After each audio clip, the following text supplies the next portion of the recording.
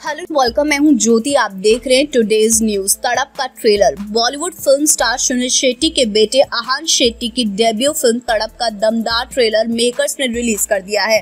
South cinema की blockbuster film R X hundred के Hindi remake वाली इस फ़िल्म में आहान शेट्टी के साथ लीड रोल में तारा सुतारिया दिख रही हैं। इस फ़िल्म को साजिद नाडियाडवाला ने प्रोड्यूस किया है, जबकि इसके निर्देशक मिलन लुथारिया है। रोमांटिक एक्शन ड्रामा इस फ़िल्म को मेकर्स 3 दिसंबर 2021 के दिन सिनेमाज लेकर पहुँचने वाले हैं। फ़िल्म का ट्रेलर काफ़ी दमदार है और जुनूनी इश्क की दास्तां बयान करता हुआ दिखाई दे रहा है। तो अगर आपने भी इसका ट्रेलर देखा है तो आपका रिएक्शन क्या रहा? प्लीज़ आप कमेंट सेक्शन में लिखें। Thank you so much keep watching today's for more news